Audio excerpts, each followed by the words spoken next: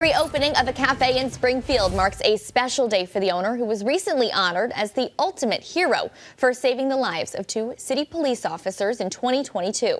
Western Mass News it was a joyous day for the grand reopening of Cafe Di Jolie in downtown Springfield on Tuesday. Springfield Mayor Dominic Sarno, Police Superintendent Cheryl Clapprood, and members of the Springfield Police Metro Unit showed up to support cafe owner Pedro Perez, who is well known in the city for his heroic acts of bravery that helped save the lives of two police officers back in 2022. Still to this day, you know, I, I haven't, it, had, it hasn't hit me yet, you know. It was two days after Christmas when Perez noticed two officers struggling with an armed suspect. Police say the suspect had grabbed one of the officer's service pistols and began shooting at them. Perez immediately jumped out of his car and helped the officers detain the suspect with a bullet actually going through his own sweatshirt.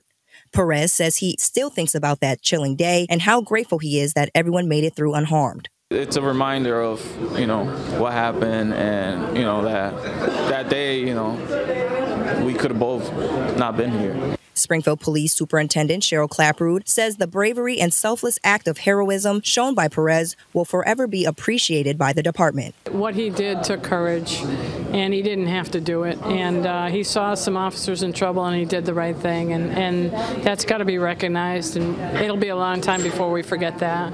Perez has since been honored for his bravery with a Carnegie Hero Award. He tells Western Mass News he was forced to close his restaurant as major renovations were underway around the nearby Civic Center garage. Now he hopes that reopening his business will also be a way to continue spreading community love in the downtown district something that has kept his customers coming back over the years. It's been great.